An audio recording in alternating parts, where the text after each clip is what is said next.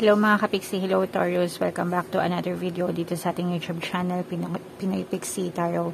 Ang pamagat ng episode natin mga kapiksi ay ang inyong bear months kapayaran para ngayong um, bear months ng 2022 mga kapiksi. Again, ito para sa Taurus, Sun, Moon, Rising Sign, and Venus. Ito yung general reading lang mga kapiksi so hindi siya mag-resonate sa lahat. Ito yung dalawang decks na gagamitin natin. Ito yung para sa main energy natin mga kapiksi, tapos ito naman yung para sa additional influences na pwede nyo ma-experience ngayong bear months, positive and negative energy, mga kapiksi, and general reading lang, pwede mag-resonate, pwede hindi. So, unahin natin to guys, no? Um, i-shuffle natin yung cards. Habang sinashuffle natin mga kapiksi, itanong sa isip, no? Kung ano magiging kapalaran bear months ng 2022. Alright, and habang sinashuffle natin siya mga kapiksi, inform ko lang din kayo na open na yung ating exclusive membership program dito sa ating YouTube channel. Sa mga gustong mag-join mga kapiksi, i-click nyo lang yung join button sa ng subscribe button. Magkakaroon kayo ng access sa mga exclusive videos regarding manifestation using the power of your subconscious mind and law of attraction. Maganda yung mga videos na mga kapiksi. Marami kayong matututunan. Alright, so hinahanap natin ngayon guys yung um, coins energy bilang ang Taurus ay na-represent ng pence or coins sa ating tarot spread. So, um, Taurus kayo ay na-represent ng Queen of Coins sa ating tarot deck. So, tingnan natin yung strongest energies nyo para ngayong bear months, mga kapixie. Wow. Mayroong presence ng air sign, Aquarius, Gemini, Libra, mga kapixie. Alright, so for some of you mga kapiksino, in terms of finances, trabaho mga kapiksino, yung iba sa inyo, maaari kayo makatanggap ng uh, bagong offer sa trabaho, so pwedeng bagong job opportunity ito, or side hustle mga kapik kapiks. Not necessarily trabaho, pero yung iba, parang side hustle siya, mga kapiksi, magagamit mo siya para mag-expand yung iyong kalagayang pinansyal. Sa panahon guys, ngayon, no, hindi na uso yung, or sa panahon ngayon guys, no, um, uso na ngayon yung multiple streams of income, yung hindi nagkakasya sa isang stream of income lang, hindi yung trabaho lang, ganyan, pero marami ng mga tao yung naghahanap ng other sources of income to grow their um, finances or yung kabuhayan nila. And for some of you guys, nandun yung exploration sa inyo, no? So, naiisip nyo na mag-explore. Yung iba, meron kayo mga bagong ideas na gustong subukan, mga kapiksi. And that's fine, no? Pero make sure na aralin nyo munang mabuti, mga kapiksi, no? Bago kayo uh, sumugod, no?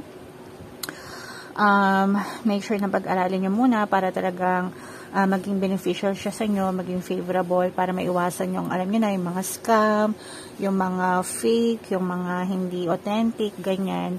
Um, para maingatan nyo rin if ever na naglalabas kayo ng pera, para maingatan nyo rin yung mga assets nyo, mga kapiksi. Pero ito magiging favorable sa inyo ito, especially if magtatayo kayo ng business or something for yourself. Yung iba sa inyo, pwedeng freelancer din, na parang you're working on your own as outside yung sa inyong employment, no? Parang meron pa kayong sariling profile or something bilang freelancer, mga kapiksi, para meron kayong services na kinikater on your own, mga kapiksi. And that's fine, no? Pag, paglawigin nyo lang yan, mga kapiksi. And then, for some of you naman, pagdating sa relationship, guys, no, nakikita natin dito na this is both positive and negative, guys. Kasi, um, nakikita na, uh, there's a presence of an air sign here, Aquarius, Gemini, Libra.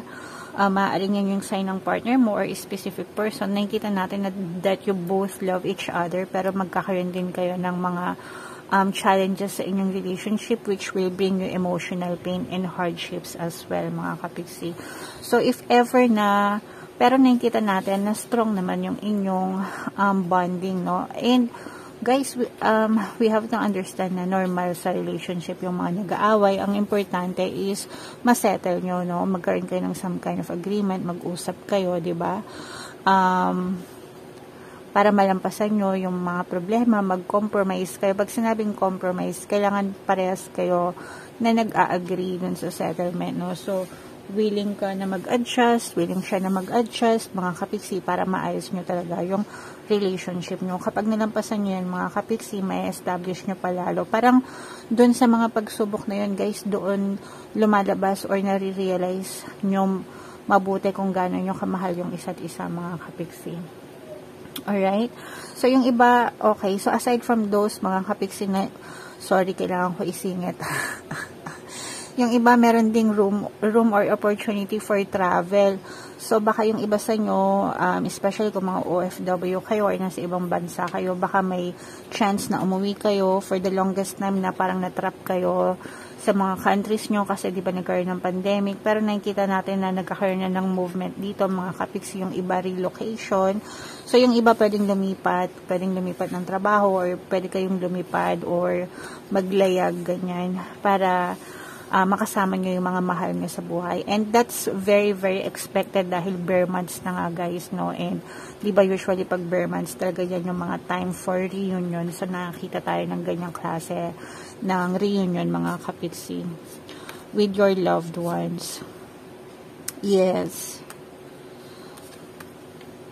Alright, so meron din presence ng water sign, mga kapiksi, Cancer, Pisces, Scorpio. For some of you, um, mag-open talaga yung ano nyo, yung communication nyo. Mag for some of you, parang merong paparating sa inyo na uh, from the past, mga kapiksi, unexpected from the past. So, um, maaring ex to, past lover, ganyan, or um, baka kamag-anak, malayong kamag-anak na matagal nyo nang hindi nakita or kaibigan ganyan na matagal nyo nang hindi nakausap tapos parang bigla siyang magpaparamdam sa'yo. Actually, iniisip ka na niya, na niya inito. ano? Iniisip ka na niya. Iniisip ka na neto.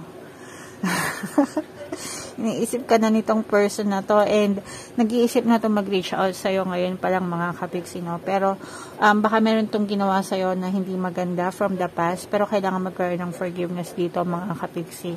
Pero hindi niya rin ikaw matitiis, no? So nakikita natin na may magbabalik dito for some of you. Pero yung iba sa inyo, parang okay na kayo. Lalo na kung meron itong kasalanan sa inyo mga kapiksi parang medyo okay ka na, tanggap mo na, may acceptance na, may forgiveness na. And there's a chance na ma-fix yung relationship or kung ano man yung mga hindi nyo napagkaunawaan before mga kapiksi.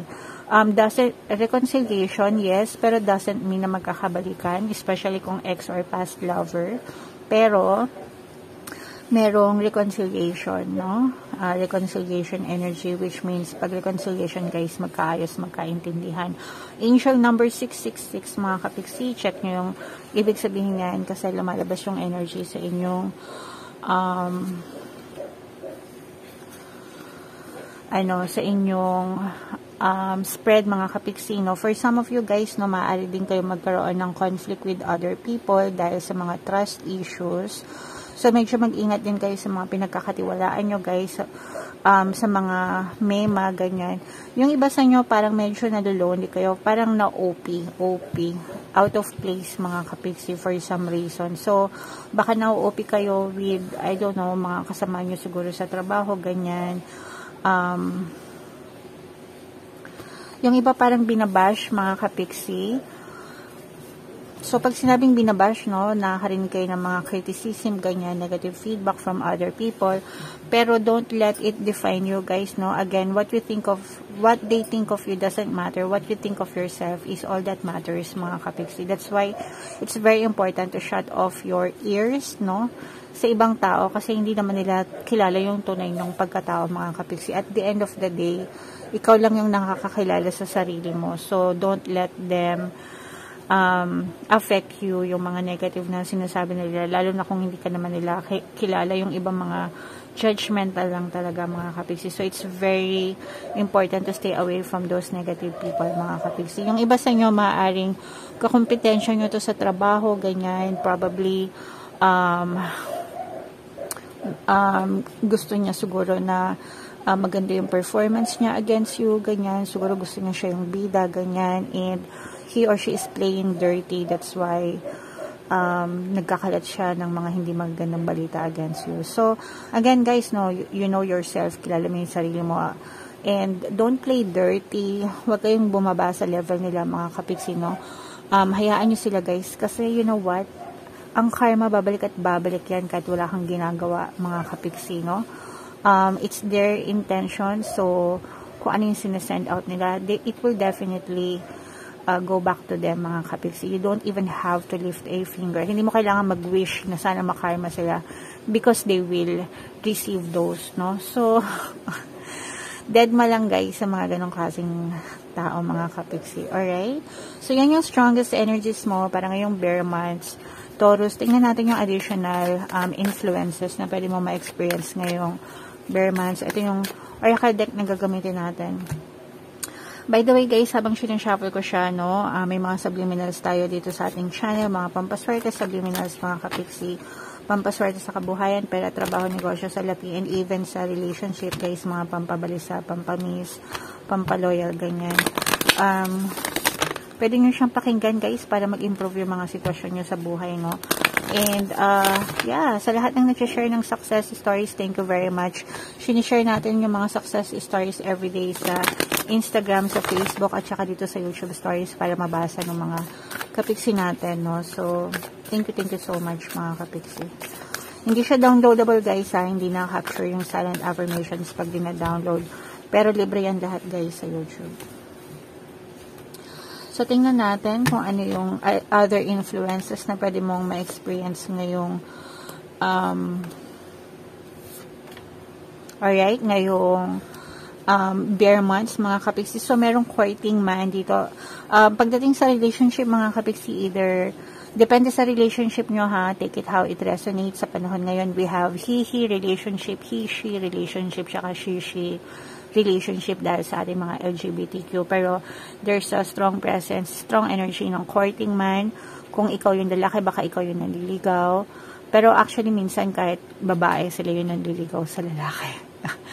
And ano na yon guys, accepted na yun ng society, no? Uh, just be true to yourself. Kung gusto mong mag um, paramdam or confess ng feelings mo, why not, di ba? Um, pero ito yung mga energies na nakuha natin guys. So there's a courting man, nanliligaw, or either ikaw yung nanliligaw or ikaw yung liligawan, and then fair male. Pag sinabing fair, medyo tisoy, ganyan. Medyo maputi, ganyan. So, for some of you, baka ibang lahi rin ito, ba? um, yeah. And then for some of you guys, this is uh, karma energy. So guys, no, alam nyo na kung ano yung babalik sa inyo pag sinabing karma. Huwag kayong masyadong matakot kasi um, there are always two sides to karma, good karma and bad karma. If you send out good intentions, definitely good karma yung babalik sa inyo. And then if you send out bad intentions, bad karma din yung babalik sa inyo. So always, always, always remember to Send out good intentions each and every day mga kapiksi. Magtanim kayo ng good karma, good deeds para talagang good karma yung anihin nyo for the rest of your lives mga kapiksi. Yan yung anihin nyo, yan yung ano, um, pag-ipunan nyo, no? Aside sa pag-iipon ng pera sa bangko or savings, mga kapiksi, or sa retirement, very important na magtanim din kayo ng good karma uh, sa inyong buhay, mga kapiksi. Alright? Um, yeah. Okay, so let me know guys, stories if this resonates with you, mag-iwan ka ng like and comment sa ating video for energy exchange. Kung gusto mong malaman yung iyong um, blessings for bare months, check mo tong video na to. Baka nandito yung energy mo. Thank you for liking, sharing, and subscribing. See you again next time. I love you mga kapiksi. Have a nice day. Bye-bye.